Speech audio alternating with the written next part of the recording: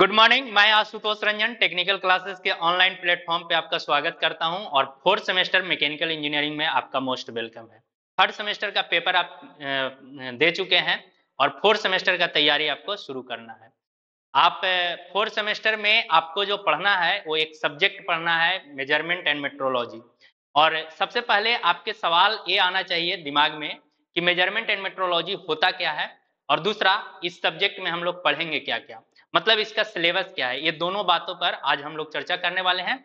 तो सबसे पहले जो आपका मेट्रोलॉजी वर्ड है, वो दो ग्रीक वर्ड से मिल करके बना है, एक मेट्रो और दूसरा लॉजी मेट्रो का मतलब होता है, यहाँ पे मैं आपको लिख देता हूँ, एक ग्रीक वर्ड है ग्रीक वर्ड है ग्रीक वर्ड है ग्रीक वर्ड है, एक आपका वर्ड जो आता है, वो आपका मेट्रो मेट्रो और दूसरा जो वर्ड वर्ड आता है लॉजी। ये दो वर्ड से मिल करके आपका मेट्रोलॉजी बना इसको यदि ऐड करें और यहाँ पे हम आपको इक्वल टू दिखाएँ तो ये आपका क्या बनेगा? मेट्रोलॉजी। मेट्रोलॉजी, ये आपका सब्जेक्ट है। मेट्रो का मतलब होता है एक ग्रीक वर्ड है। ग्रीक में मेट्रो का मतलब जो होता है, मेज़रमेंट होता है। क्या होता है? मेज़रमेंट। मेज़रमेंट। और आपका लॉजी का मतलब होता है साइंस। या स्टडी भी आप कह सकते हैं। तो आपका मेट्रोलॉजी क्या हुआ? तो मेट्रोलॉजी मेट्रोलॉजी कुछ नहीं है। मेट्रोलॉजी क्या हो गया? कि measurement of science is called metrology मतलब मापने की विज्ञान को हम लोग क्या बोलते हैं? मेट्रोलॉजी बोलते हैं। अब मापना शब्द आया मतलब मेज़रमेंट एक वर्ड आ रहा है। मेज़रमेंट का मतलब क्या होता है? मेज़रमेंट एंड मेट्रोलॉजी पूरा सब्जेक्ट का नाम है, जिसको मेट्रोलॉजी के नाम से सिर्फ़ पुकारा जाता है। ठीक है? क्योंकि मेज़रमेंट हम लोग पहले से भी जानते हैं, लेकिन मेज़रमेंट आप क्या समझते हैं मेज़रमेंट के बारे में? उसका हिंदी होता है मापना। मापने का मतलब क्या होता है कि स्टैंडर्ड चीज़ से कंपेयर करके आपको देखना है कि ये आपका जैसे स्टैंडर्ड चीज़ से हम कंपेयर किए एक मीटर एक मीटर हमारे पास स्टैंडर्ड है स्टील रूल में या किसी भी चीज़ में, उसको हम, उससे हम मेजर करके देख रहे हैं कि इसका क्या है, इससे ज़्यादा है या कम है, कितना ज़्यादा है, कितना कम है। एक आपको डेटा एनालिसिस करने के लिए एक आपको आपको न्यूमेरिक वैल्यू मिलेगा। उसी चीज़ को हम लोग क्या बोलते हैं? आपका मेज़रमेंट हो गया। तो पूरा जो आपका सब्जेक्ट हो गया मेज़रमेंट एंड मेट्रोलॉजी मतलब मेट्रोलॉजी का सिंपल मतलब क्या हो गया? मेज़रमेंट ऑफ़ साइंस मतलब मापने का विज्ञान को हम लोग क्या बोल रहे हैं? मेट्रोलॉजी बोलते हैं। हिंदी में इसको मापन विज्ञान भी कहा जाता है। ठीक है? अब मेज़रमेंट का मतलब आप समझ चुके हैं ग्रीक वर्ड है मेट्रोलॉजी से मिल करके बना है। अब हम लोग बात करेंगे कि इसमें हम लोग को पढ़ना क्या है। तो टोटल पाँच यूनिट आप लोग को इसमें पढ़ना है। पाँच यूनिट में जो पहला यूनिट है पहला यूनिट जो है ये आपका मेज़रमेंट एंड मेट्रोलॉजी सब्जेक्ट का नाम हुआ। पहला जो यूनिट है उसमें जो है पहले जो आपका तीन कैटेगरी में पहला यूनिट में 1.1, 1.2 और 1.3 तीन टॉपिक मेजर टॉपिक दिया है। पहला जो टॉपिक है वो आपका है इंट्रोडक्शन। इंट्रोडक्शन में आपको क्या समझना है? तो डिफिनेशन समझना है मेट्रोलॉजी का। कि मेट्रोलॉजी होता क्या है? टाइप्स ऑफ़ मेट्रोलॉजी समझना है। साइंटिफिक मेट्रोलॉजी क्या होता है? लीगल मेट्रोलॉजी क्या होता है? अलग अलग तरह का जो मेट्रोलॉजी है, उसके बारे में आपको जानना है। दूसरा जो आपको जानना है कि आपका नीड ऑफ़ मेट्रोलॉजी क्या है? मेट्रोलॉजी की ज़रूरत क्या है? बेनिफिट्स क्या है? बेनिफिट्स आपका है कि आप एक बेहतर क्वालिटी का प्रोडक्ट प्रोड्यूस करने लगते हैं। यदि आपके पास मेट्रोलॉजी का ज्ञान हो गया तो आप जो मैन्युफैक्चरिंग में जो पार्ट्स मैन्युफैक्चर कर रहे थे प्रोड्यूस कर रहे थे उसमें आप एक बेहतर क्वालिटी का प्रोडक्ट आप प्रोड्यूस करिएगा। ठीक है? दूसरा जो है स्क्रैप को रिड्यूस करवा दीजिएगा। स्क्रैप मतलब जो फालतू आपका मटेरियल वेस्ट हो जा रहा था काटने में, पीटने में। आपके पास यदि मेट्रोलॉजी का ज्ञान है तो आप क्या कीजिएगा मेट्रोलॉजी में स्क्रैप जो निकल रहा है जो फालतू मटेरियल निकल रहा था उसको रिड्यूस कर दीजिएगा। तीसरा जो आपको बेनिफिट है वो क्या बेनिफिट है आपका? तीसरा बेनिफिट है कि आप जो है ना वो आपका एक इफिशियंट तरीका से आप काम करने लगिएगा मतलब कम समय में ज़्यादा प्रोडक्शन आप देने लगिएगा ज़्यादा प्रोडक्ट प्रोड्यूस करने लगेगा। जिसके पास मेट्रोलॉजी का ज्ञान है तो, तो ये आपका बेनिफिट है। इसके बारे में हम लोग जानेंगे। उसके बाद इसमें हम लोग टर्म जानेंगे। टर्म मतलब टर्मिनोलॉजी है। कुछ कुछ वर्ड है जिसके बारे में आपको जानना चाहिए। वो वर्ड क्या है? दो वर्ड आपको यहाँ पे दिख रहा होगा। एक एक्यूरेसी और एक प्रिसीजन एक्यूरेसी का मतलब क्या है कि आपका टारगेट वैल्यू के कितना नज़दीक है। उसको हम लोग क्या बोलेंगे? एक्यूरेसी बोलते हैं। एक्यूरेट जैसे हमको 10 एम mm का कोई चीज़ बनाना है और 9.5 एक लड़का बनाया है और एक 9.8 बना दिया है। तो आप 9.8 वाला को क्या बोलिएगा कि ज़्यादा एक्यूरेट है। 9.8 वाला ज़्यादा एक्यूरेट है। तो एक्यूरेसी को हम लोग समझेंगे प्रिसीजन को समझेंगे। प्रीसीजन का मतलब क्या है कि हर बार यदि आप मेजर कर रहे हो, हर बार सेम वैल्यू यदि आपको इंस्ट्रूमेंट प्रोवाइड कर रहा है इंस्ट्रूमेंट हर बार आपको सेम वैल्यू दे रहा है तो मतलब वो इंस्ट्रूमेंट जो है प्रिसाइज इंस्ट्रूमेंट है। और एक कब संभव होगा? जब लिस्ट काउंट ज़्यादा, जितना ज़्यादा कम लिस्ट काउंट होगा मतलब एक लिस्ट काउंट भी बढ़ आ रहा है टर्मिनोलॉजी में। लिस्ट काउंट का मतलब क्या है? कि उस इंस्ट्रूमेंट को कम से कम मापने की क्षमता। जितना कम मापने की क्षमता होगा, उतना ही ज़्यादा वो प्रिसाइज होगा और वही उसका लिस्ट काउंट होगा। जैसे सिंपल हम लोग स्केल की यदि बात करें तो स्केल से यदि आप कोई चीज़ मेजर कर रहे हैं तो स्केल में 0.5 ही मेजर कर सकते हैं। 0.5 से छोटा आप मेज़रमेंट नहीं कर सकते हैं। तो ये आपका क्या हो गया? लिस्ट काउंट हो गया 0.5 स्केल का, जिसको स्टील रूल भी कहते हैं। ये आपका प्रिसीजन समझ गए एक्यूरेसी समझ गए लिस्ट काउंट समझ गए, उसी तरह से कैलिब्रेशन है, उसी तरह से आपका कैलिब्रेशन के बाद आपका क्या आता है? कैलिब्रेशन है रीडिबिलिटी है सेंसिटिविटी है, ये सब सब टर्मिनोलॉजी है और इसी टर्मिनोलॉजी को आपको समझना है। ठीक है? तो ये आपका पहला जो टॉपिक है इंट्रोडक्शन उसमें इस सारी बातें पर, बातों पे हम लोग चर्चा करेंगे। टर्मिनोलॉजी पे और आपका डिफिनेशन वगैरह पे। दूसरा जो है मेजरिंग इंस्ट्रूमेंट के बारे में जानना है। मेजरिंग इंस्ट्रूमेंट में हम लोग जो मेज़रमेंट करते हैं, उसमें हम लोग दो तरह का मेज़रमेंट करते हैं। एक आपका डायरेक्ट मेज़रमेंट होगा, दूसरा इनडायरेक्ट मेज़रमेंट होगा। उसके बाद यदि हम लोग टाइप्स ऑफ़ मेज़रमेंट की बात करें तो टाइप्स ऑफ़ मेज़रमेंट जो होता है, वो आपका लीनियर मेज़रमेंट होता है एंगुलर मेज़रमेंट होता है, वो आपका कंपेरेटिव मेज़रमेंट होता है, ठीक है अलग अलग तरह का मेज़रमेंट होता है। उसमें हम लोग बात करेंगे यदि लीनियर मेज़रमेंट मतलब सीधा सीधा मापना है, जैसे आपको हाइट मेजर करना है लेंथ मेजर करना है डेप्थ मेजर करना है बीथ मेजर करना है तो ये सब लीनियर मेज़रमेंट में आएगा। एंगुलर मेज़रमेंट में एंगल मेजर करना है। कोई चीज़ इंक्लाइंड है, उसमें एंगल मेजर करना है। तो मुख्य रूप से हम लोग को जो इसमें मेजरिंग इंस्ट्रूमेंट में जो हम लोग को बात करना है, वो दो ही टॉपिक पे, दो ही जो इंस्ट्रूमेंट है, एक आपका एंगुलर मेज़रमेंट करने वाला इंस्ट्रूमेंट और लीनियर मेज़रमेंट करने वाला इंस्ट्रूमेंट ये दो इंस्ट्रूमेंट के बारे में हम लोग को पढ़ना है। इसमें आपका क्या क्या आ जाएगा? तो इसमें आपका आएगा पहला, जो स्क्रू थ्रेड माइक्रोमीटर है, जो यहाँ पे भी दिखाया गया है, यहाँ पे भी दिखाया गया है। स्क्रू थ्रेड माइक्रोमीटर में हम लोग कैसे रीडिंग लेते हैं? कौन सा एनविल कौन है? स्पिंडल कौन है? थिम्बल कौन है? रेचेट स्टोप का क्या काम है? थिम्बल पे जो आपका ये मार्किंग किया हुआ है, उसको हम लोग कैसे देखते हैं? मेन स्केल कौन है? फ्रेम क्या है? किस मटेरियल का बना हुआ है? सारी बातों पे हम लोग चर्चा करेंगे। इससे मेज़रमेंट कैसे करते हैं? वही चीज़ यहाँ पे जूम करके दिखाया गया है। कैसे मेज़रमेंट कर रहे हैं? स्क्रू थ्रेड का मेज़रमेंट उसके बारे में। ये ये आपका एंगुलर मेज़रमेंट करने के लिए बेबल प्रोटेक्टर का इस्तेमाल किया गया है, जिसको यूनिवर्सल बेबल प्रोटेक्टर भी बोलते हैं।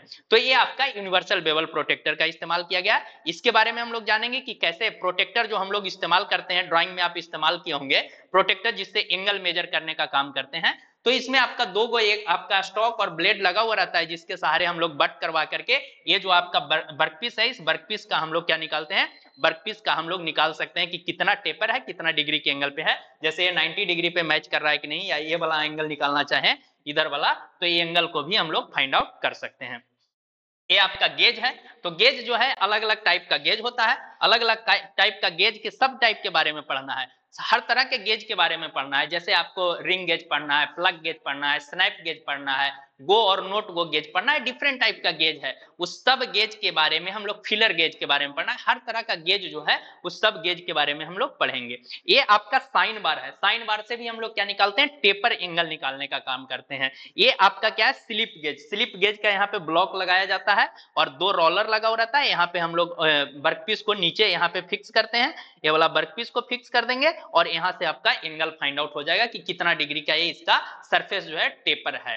तो ये हम लोग साइन बार है ये गे, आपका गेज है जिसमें ये फिलर गेज हो गया रिंग गेज भी होता है स्नैप गेज भी होता है आपका गो और नोट गो गेज भी होता है। समझ गए? अलग अलग तरह का गेज है। सबके बारे में हम लोग डिटेल से चर्चा करेंगे। ये सारा जो है, ये देखिए, ये दोनों एंगुलर मेज़रमेंट का, ये वाला भी एंगुलर मेज़रमेंट का, ये आपका लीनियर मेज़रमेंट का, ये भी लीनियर मेज़रमेंट का, ये आपका कंपेरेटिव करने का, कंपेयर करने का मतलब ये डायरेक्ट मेज़रमेंट नहीं देता है, कंपेयर करके आपको बताता है गेज। तो गेज के बारे में हम लोग पढ़ेंगे, ये दूसरा टॉपिक जो है, पहला यूनिट का, वो आपका समाप्त हो जाएगा। ठीक है, उसके बाद हम लोग 1.3 में आएँगे 1.3 में सरफेस फिनिश से रिलेटेड हम लोग को चर्चा करना है। जैसे कोई सरफेस है, वो सरफेस आपका कितना स्मूथ है या कितना रफ है तो उसमें आपका टेक्सचर आता है प्राइमरी टेक्सचर सेकेंडरी टेक्सचर के बारे में हम लोग को जानना है। अलग अलग तरह के टेक्सचर के बारे में जानना है उसका बनावट के बारे में जानना है। आर एम एस वैल्यू क्या होता है, ये सब वैल्यू के बारे में हम लोग को फाइंड आउट करना है तो ये हम लोग सरफेस फिनिश वाला में पढ़ेंगे। उसके बाद इसमें एक चीज़ और दे दिया है, कोऑर्डिनेट मेजरिंग मशीन, जिसको शॉर्ट में सीएमएम भी बोला जाता है, कोऑर्डिनेट मेजरिंग मशीन। ये आपका कोऑर्डिनेट से मेजर करता है, लीनियर मेज़रमेंट करता है, एंगुलर मेज़रमेंट करता है। तो इस मशीन के बारे में भी हम लोग को जानना है कि सीएमएम है, सीएमएम कैसे काम करता है और किस तरह का सी एम सीएमएम है? आपका कैंटिलीवर टाइप का सीएमएम है या ब्रिज टाइप का आपका सीएमएम है? अलग अलग टाइप का सीएमएम मशीन होता है। तो उसके बारे में हम लोग डिटेल्स रूप से चर्चा करेंगे कि क्या क्या इसमें पढ़ना है, कैसे हम लोग को पढ़ना है स्टाइलुस क्या होता है, कहाँ पे वर्कपीस को रखेंगे, कैसे हम लोग मेज़रमेंट लेंगे। तो ये आपका कंप्यूटर से जुड़ा हुआ रहता है, ठीक है? कोऑर्डिनेट से मेजर करता है। तो ये आपका, जब यहाँ तक आप पढ़िएगा कोऑर्डिनेट मेजरिंग मशीन तो ये आपका पहला यूनिट जो है, वो आपका खत्म हो जाएगा। उसके बाद सेकेंड यूनिट में हम लोग आएँगे। सेकेंड यूनिट में जो हम लोग को पढ़ना है, वो आपको किसके बारे में पढ़ना है? ट्रांसड्यूसर एंड स्ट्रेन गेज के बारे में पढ़ना है। सबसे पहले ट्रांसड्यूसर ट्रांसड्यूसर का सिंपल मीनिंग यदि हम लोग देखें तो सेंसर को ही ट्रांसड्यूसर बोला जाता है। सेंसर का मतलब क्या होता है कि नॉन इलेक्ट्रिकल फॉर्म के एनर्जी को इलेक्ट्रिकल फॉर्म के एनर्जी में कन्वर्ट करता है, बदलता है। जैसे सिंपल आप मोबाइल यूज़ करते हैं फ़ोन यूज़ करते हैं ना मोबाइल तो मोबाइल सेलफोन में क्या बोलते हैं? आप बोलते हैं, हेलो। तो हेलो जो है, वो आपका दूसरा साथी तक हेलो नहीं जाता है। वो आपका किसमें कन्वर्ट हो जाता है? एक ट्रांसड्यूसर और रिसीवर लगा हुआ रहता है। तो ट्रांसड्यूसर और रिसीवर जो होता है, वो आपका क्या हो गया? एक तरह का ट्रांसड्यू आपका क्या है? ट्रांसड्यूसर लगा ट्रांसमीटर और आपका रिसीवर लगा हुआ रहता है। ये दोनों क्या है? दोनों आपका क्या है? दोनों जो है वो आपका ट्रांसड्यूसर है टाइप्स ऑफ़ ट्रांसड्यूसर है, जिसमें आपका ट्रांसमीटर क्या करेगा? आप यहाँ से हेलो बोले तो उसको इलेक्ट्रिक फॉर्म में, आपका नॉन इलेक्ट्रिक फॉर्म में जो आवाज़ था, उसको इलेक्ट्रिक फॉर्म में कन्वर्ट किया और उसको ट्रांसमिट किया। और ट्रांसमिट करने के बाद वहाँ जो रिसीवर है, वो आपका इलेक्ट्रिकल फॉर्म की एनर्जी को फिर से नॉन इलेक्ट्रिकल फॉर्म में चेंज किया और उसको भी हेलो सुनाई दिया। तो इस पे हम लोग ट्रांसड्यूसर पे अलग अलग टाइप का ट्रांसड्यूसर जो है उस पर हम लोग चर्चा करेंगे। ये सब जो आपका डायग्राम दिख रहा है ट्रांसड्यूसर का ही डायग्राम है और इसका हम लोग समझेंगे ट्रांसड्यूसर कैसे काम करता है स्ट्रेन गेज कैसे काम करता है तो इस पे हम लोग चर्चा करेंगे 2.1 में। उसके बाद 2.2 है, इसमें दो ही यूनिट है 2.2 में measurement of force torque and pressure इसमें हम लोग अलग अलग टाइप से फोर्स को मेजर करने के लिए टॉर्क को मेजर करने के लिए और प्रेशर को मेजर करने के लिए। तीनों तरह के मेजर करने के लिए इंस्ट्रूमेंट के बारे में पढ़ेंगे। जैसे फोर्स मेजर करने के लिए, ये आपका बैलेंस लगा हुआ है। स्प्रिंग बैलेंस आप देखे होंगे, ये स्प्रिंग बैलेंस गैस वेंडर वाला के पास देखे होंगे। गैस जो आपके घर तक पहुंचाता है ना, वो इस तरह का रखता है, इसमें आपका गैस को लटका करके गैस सिलेंडर को लटका करके, वो आपका वेट मेजर करता है, यानी कि फोर्स मेजर कर रहा है कि इसमें कितना फोर्स लग रहा है। तो वो आपका स्प्रिंग बैलेंस ये आपको पढ़ना है। कैसे ये काम करता है, किस प्रिंसिपल पे काम करता है, कैसे यहाँ पे मार्किंग दिया गया है। देखिए, एक तरफ़ न्यूटन में और एक तरफ़ ग्राम में दिया हुआ है। तो इसको हम लोग समझेंगे कैसे काम करता है, इसके अंदर क्या है, उसको भी हम लोग समझेंगे कि कैसे इस पर काम हो रहा है। प्रेशर मेज़रमेंट करने, उसके बाद टॉर्क मेज़रमेंट का है, टॉर्क मेज़रमेंट में क्या होता है, डायनेमोमीटर का इस्तेमाल करते हैं। और टॉर्क मतलब का हो गया क्या, जैसे गाड़ी में आप खरीदने जाइएगा तो आपको टॉर्क बताया जाता है। गाड़ी जब आप टू व्हीलर या फोर व्हीलर या किसी भी तरह का बाइक वगैरह खरीदने गए होंगे, फोर व्हीलर खरीदने के लिए गए होंगे तो उसमें आपको टॉर्क बताया जाता है कि इसका टॉर्क कितना है। टॉर्क का सिंपल मतलब पावर वहाँ पे हो गया। क्या, इंजन का पावर। वो पावर को कैसे हम लोग निकालते हैं, कैसे हम लोग फाइंड आउट करते हैं तो पावर को निकालने के लिए आपके पास चाहिए एक डायनेमोमीटर ठीक है? तो प्रोनी ब्रेक डायनेमोमीटर होता है हाइड्रोलिक डायनेमोमीटर होता है तो जो भी डायनेमोमीटर है, जो यहाँ फिगर लगा हुआ है, ये डायनेमोमीटर है हाइड्रोलिक वाला, ये आपका प्रोनी ब्रेक डायनेमोमीटर है। यहाँ पे देखिए व्हील आपका घूम रहा है, यहाँ पे हम लोग लोड जो है वो अप्लाई करते जाते हैं लोड अप्लाई करते जाते हैं तो इसको क्या करता है, इसको कंप्रेस करके इसको कितना लोड तक ये आपका चल रहा है, घूम रहा है रोटेट हो रहा है या कित, किस लोड पे ये आपका रुक गया उसके हिसाब से थोड़ा सा छोटा सा कैलकुलेट करते हैं और हम लोग के पास टॉर्क फाइंड आउट करते हैं कि कितना टॉर्क है। ठीक है? तो ये आपका हो गया। प्रेशर के लिए ये आपका प्रेशर मेज़रमेंट करने के लिए हम लोग डिवाइस लगाते हैं।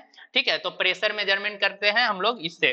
तो ये आपका प्रेशर मेज़रमेंट कैसे करते हैं उसको भी हम लोग समझेंगे। तो ये आपका यहाँ तक आप यदि पढ़ते हैं तो दूसरा यूनिट भी आपका समाप्त हो जाएगा। प्रेशर मेज़रमेंट करने के लिए मेकलॉड गेज का इस्तेमाल किया जाता है। ये फिगर जो लगाया हुआ है, मेकलॉड गेज है। कैसे मेकलॉड गेज काम करता है, किस तरह से इसमें प्रेशर मेज़रमेंट करते हैं, उस पर हम लोग चर्चा करेंगे आगे के क्लास में। ठीक है? तो आपका अगला जो है 3.1 यानी कि तीसरा यूनिट स्टार्ट हो रहा है आपका, और तीसरा यूनिट में है applied mechanical measurement applied mechanical measurement में क्या आता है? जैसे एलवीडीटी का नाम आपने सुना होगा। एलवीडीटी एलवीडीटी मतलब होता है लीनियर वेरिएबल डिफरेंशियल ट्रांसड्यूसर तो एलवीडीटी का ये फॉर्मूला है जैसे आपका डिस्प्लेसमेंट मेजर करने के लिए। डिस्प्लेसमेंट मेजर करने के लिए इसका इस्तेमाल करते हैं।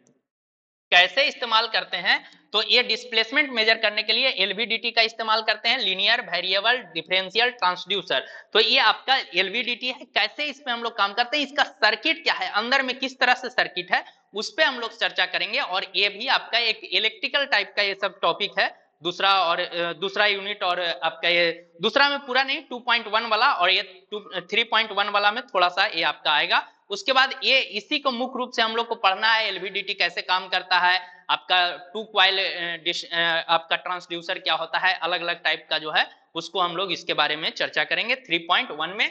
और उसके बाद जो अगला यूनिट आएगा, अगला यूनिट में हम लोग को तीसरा यूनिट का ही 3.2 में मेसलेनियस मेज़रमेंट के बारे में पढ़ना है। मिसलेनियस मेज़रमेंट के बारे में आपको क्या क्या चीज़ के बारे में पढ़ना है तो मिसलेनियस मेज़रमेंट में हम लोग को अस्ट्रेन गेज के बारे में पढ़ना है। यहाँ पे अस्ट्रेन गेज है अस्ट्रेन गेज के बारे में पढ़ना है, उसके बाद आपको हाइड्रोमीटर के बारे में पढ़ना है। हाइड्रोमीटर कहने का मतलब हो गया लैक्टोमीटर, जिससे हम लोग क्या फाइंड आउट करते हैं? डेंसिटी फाइंड आउट करते हैं। जैसे प्योरिटी ऑफ़ मिल्क मिल्क के प्योरिटी को नापना है चेक करना है। दूध के शुद्धता को मेजर करना है तो उसके लिए हम लोग कौन सा इंस्ट्रूमेंट यूज़ करते हैं? लैक्टोमीटर लैक्टोमीटर को ही क्या बोला जाता है? हाइड्रोमीटर बोला जाता है। लैक्टोमीटर को ही क्या बोला जाता है? हाइड्रोमीटर बोला जाता है। और हाइड्रोमीटर जैसे यहाँ पे यहाँ पे दूध नहीं लिया गया है, शराब टाइप का कुछ ले लिया गया है, ठीक है? जिसको हम लोग क्या बोलते हैं वाइन तो वाइन ले लिया गया और उसका डेंसिटी मेजर कर रहा है। किसी भी लिक्विड का, किसी भी चीज़ का आप डेंसिटी मेजर कर सकते हैं। तो उसके लिए हम लोग को कौन सा इंस्ट्रूमेंट यूज़ करना पड़ेगा? हाइड्रोमीटर या लैक्टोमीटर दोनों एक ही नाम है। तो उसको हम लोग समझेंगे कैसे ये काम करता है, किस तरह से इसका प्रिंसिपल है, किस तरह से ये वर्क करता है। उसके बाद सिपगेमो मैनोमीटर है। सिपगेनो से आपका सिपगेमो मैनोमीटर यहाँ पे लिखा हुआ है सिपगेमो मैनोमीटर सिपगेमो मैनोमीटर आप घर में अपना देखे होंगे, किसी का यदि आपका खुदा ना खास्ते यदि किसी का तबियत खराब हुआ होगा तो ब्लड प्रेशर चेक करने के लिए डॉक्टर इसको लेकर के आता है। डॉक्टर लेकर के आता है ना, कान में आला लगाता है और उसके बाद हाथ में ये बला चिपका देता है और इससे ऐसे प्रेस करके और इसमें मेजर करता है कि कितना आ रहा है। अस्सी बाई एक सौ बीस, अस्सी बाई जो भी आपका ब्लड प्रेशर है तो उसमें हम लोग समझेंगे कि ब्लड प्रेशर कैसे मेजर किया जाता है उसके लिए कौन सा सिफियमो मैनोमीटर मशीन है इस पे हम लोग कैसे काम करते हैं कि क्या प्रिंसिपल इंटरनल प्रिंसिपल क्या है सिद्धांत क्या है इसका काम करने का उसके बारे में हम लोग इसमें समझेंगे। उसके बाद फिर अगला जो आ, आपका यूनिट आएगा चौथा यूनिट आएगा। चौथा यूनिट बड़ा लाजवाब यूनिट है लिमिट फिट एंड टॉलरेंस के बारे में जानना है। जैसे लिमिट फिट और टॉलरेंस के बारे में हम लोग जब मैन्युफैक्चरिंग भी पढ़ रहे थे तो उसमें हमने आपको डिटेल्स में थोड़ा बहुत बताया होगा। डिटेल्स में तो नहीं गए थे कि आप यदि कोई चीज़ बनाते हैं, जैसे 10 एम mm का लेंथ का आपको कोई ऑब्जेक्ट बनाना है तो एग्जैक्ट 10 एम mm का बनाना बड़ा मुश्किल काम होता है। उसमें थोड़ा बहुत आगे पीछे होता है। तो उसके लिए हम लोग क्या देते हैं? टॉलरेंस देते हैं। टॉलरेंस का मतलब क्या हो गया? कि जो आपका बेसिक साइज़ है, उस बेसिक साइज़ में आप परमिसिबल वेरिएशन दे दिए। मतलब कुछ छूट दे दिए परमिट दे दिए वेरिएशन करने के लिए। उसको हम लोग क्या बोलते हैं? उसको हम लोग टॉलरेंस बोलते हैं। क्या बोलते हैं? टॉलरेंस डिफरेंट टाइप का टॉलरेंस हो जाता है मतलब तीन तरह का टॉलरेंस होता है। एक आपका यूनिलेटरल टॉलरेंस बायोलेटरल टॉलरेंस और फंडामेंटल टॉलरेंस ये तीनों तरह के टॉलरेंस के बारे में समझेंगे। तीनों को कैसे लिखा जाता है, कैसे हम समझेंगे कि कौन सा टॉलरेंस है? यूनिलेटरल टॉलरेंस कौन सा है? बायोलेटरल टॉलरेंस कौन सा है? फंडामेंटल टॉलरेंस कौन सा है? ये सारी चीज़ों को हम लोग समझेंगे। उसके बाद आपका आता है लिमिट लिमिट में आपका अपर लिमिट क्या है लोअर लिमिट क्या है तो इसके बारे में हम लोग समझेंगे। मतलब जॉब को बनाना जो है, बड़ा से बड़ा कितना बना सकते हैं और छोटा से छोटा कितना बना सकते हैं, उसी को हम लोग क्या बोल रहे हैं लिमिट बोल रहे हैं। उसके बाद डिफरेंट टाइप का फिट्स आता है। फिट्स में आपका क्या हो जाएगा?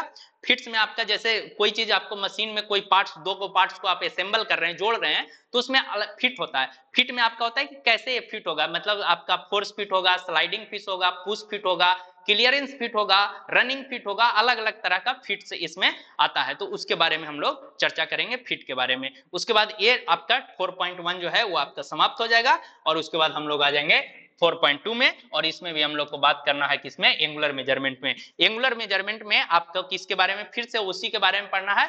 किसके बारे में? तो आपका यूनिवर्सल बेवल प्रोटेक्टर के बारे में जानना है साइन बार के बारे में जानना है आपका गेज, एंगल गेज के बारे में जानना है तो ये सब चीज़ों के बारे में हम लोग को एंगुलर मेज़रमेंट में पढ़ना है 4.2 में। और 4.2 के बाद आपका आ जाएगा 4.3 जिसमें स्क्रू थ्रेड मेज़रमेंट के बारे में हम लोग को पढ़ना है।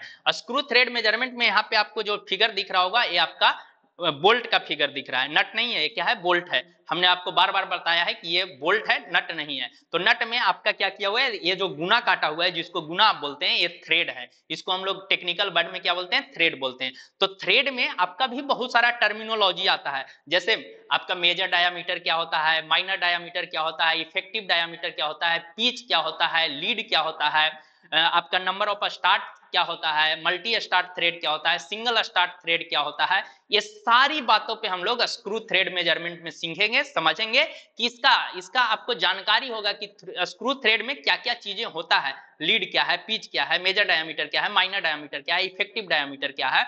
समझ गए? क्रिस्ट क्या होता है? रूट क्या होता है? ये सब चीज़ के बारे में आपको जानकारी मिलेगा यहाँ पे। और उसके बाद स्क्रू थ्रेड मेज़रमेंट करने के लिए स्क्रू थ्रेड माइक्रोमीटर जो फ़र्स्ट वाला फिगर में हम लोग देखे थे, शुरुआत वाला में, उसी को यहाँ पे फिर से डिटेल्स में पढ़ना है कि स्क्रू थ्रेड माइक्रोमीटर कैसे काम होता है, उससे हम लोग कैसे मेज़रमेंट लेते हैं, ठीक है? उसके बाद आपको एक चीज़ और पढ़ना है two wire method two wire method और थ्री वायर मेथड होता है, जिससे हम लोग क्या करते हैं स्क्रू थ्रेड का मेज़रमेंट करते हैं। तो स्क्रू थ्रेड के मेज़रमेंट करने के लिए उसको हम लोग को जानकारी लेना है, उसके बारे में हम लोग को पढ़ना है, उसके बाद ये यूनिट आपका खत्म हो जाएगा और उसके बाद हम लोग आ जाएँगे फिफ्थ यूनिट में। फिफ्थ यूनिट जो है, यानी कि मेट्रोलॉजी का ये लास्ट यूनिट है गियर मेज़रमेंट एंड टेस्टिंग मतलब जब आप गियर बनाते हैं तो गियर में गियर के टर्मिनोलॉजी के बारे में हम लोग को जानना है। गियर के टर्मिनोलॉजी में क्या होता है? जैसे उसमें भी आपका तीत कटा हुआ रहता है तो उसमें भी आपका पीच आता है, उसमें भी आपका मेजर डायामीटर आता है माइनर डायामीटर आता है।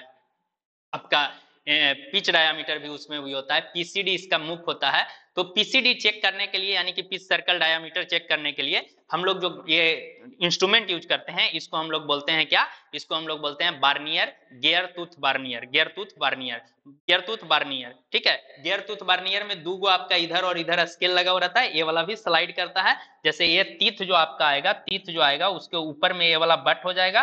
तीत जो है, ऐसे आकर के ये आपका बट हो जाएगा, ये आपका बट बट हो जाएगा। इसी तरह से आपका अगला तीत जो है, उस पे जा करके ये आपका ऐसे तीत बना हुआ है, बहुत सारा तीत। तो इसमें ये आपका तीत मतलब ये कांस्टेंट कर दिया कि इतना ही दूरी पे जा करके इसका थिकनेस मेजर करना है। इतना ही दूरी पे तो ये वाला आपका यहाँ पे फिक्स कर दिए ये वाला ये वाला फिक्स कर दिए तो ये आपका यहाँ पे बट हो रहा है। अगला में भी उतना ही डिस्टेंस पर ये जा करके मेजर करेगा थिकनेस तो ये आपका क्या होता है? Gear tooth vernier gear tooth vernier कैसे काम करता है, इसके डिटेल्स में हम लोग जाएँगे, किस मटेरियल का बना हुआ रहता है, कैसे हम लोग रीडिंग लेंगे, ये सारी बातों पे आपको चर्चा करेंगे हम लोग और आपको जानकारी मिलेगा। तो ये आप पढ़िएगा तो फिफ्थ पॉइंट वन खत्म हो जाएगा और फिफ्थ पॉइंट टू जो है मशीन टूल टेस्टिंग के बारे में पढ़ना है मशीन टूल टेस्टिंग के बारे में आपको पढ़ना है। मशीन टूल टेस्टिंग में आपको क्या जानकारी मिलेगा कि पैरलिज्म क्या होता है स्ट्रेथनेस क्या होता है? पैरलिज्म क्या होता है? स्ट्रेथनेस क्या होता है? उसके बाद आपको कंसेंट्रिसिटी क्या होता है? रन आउट क्या होता है? सर्कुलरिटी क्या होता है? ये जो टर्म है, ये सब टर्म के बारे में यहाँ पे हमने आपको एक साफ्ट का फिगर लगाया, एक साफ्ट का फिगर लगाया। इस साफ्ट में आपका देखना है कि ये आपका सर्कुलर पूरा है कि नहीं। ये आपका कोई ऑब्जेक्ट है, कोई ऑब्जेक्ट है, ये ऑब्जेक्ट है तो ये आपका लाइन जो ये सरफेस जो जा रहा है, ये सरफेस आपका पैरेलल है सरफेस की नहीं पैरेललिज्म चेक करना है एंगुलरिटी चेक करना है लिनियरिटी चेक करना है, ये सब चीज़ चीज़ जो है स्ट्रेथनेस चेक करना है, सीधापन चेक करना है, ये सब टर्म को आपको समझना है मशीन टूल टेस्टिंग में। और जब आप यहाँ तक पढ़ते हैं तो आपका जो metrology and measurement measurement and metrology का जो आपका सिलेबस है, वो सिलेबस आपका क्या हो जाएगा? द इंड हो जाएगा और उस समय फिर आप पेपर की तैयारी पूरा हो जाएगा। उसके बाद फिर हम लोग ब्रह्मास्त्र जो चलाते हैं ऑब्जेक्टिव चलाते हैं, ये सब जो, या रिविजन का क्लास चलता है, वो सारी क्लासें आपको मिलेगा और उसके बाद ये आपका सिलेबस जो है कंप्लीट हो गया। आप ओरली एक तरह से सब्जेक्ट के बारे में समझ गए हैं, क्या हो रहा है सब्जेक्ट में क्या क्या चीज़ें के बारे में हम लोग को पढ़ना है। ये सिलेबस डिस्कस करने से आपको फ़ायदा ये मिलता है कि आपके अंदर एक क्यूरिसिटी क्यूरिसिटी मतलब जानने की भावना उत्पन्न होता है कि हमको क्या इस सब्जेक्ट में जानने को मिलेगा। और जब आपके अंदर ये जानने की भावना उत्पन्न हो गया, तब आप उस सब्जेक्ट में इंटरेस्ट जगाते हैं और आप बेहतर जो है उस सब्जेक्ट में करना शुरू करते हैं। तो मिलते हैं हम लोग अगले क्लास में। तब तक के लिए थैंक यू बाय बाय जय हिंद। जय भारत।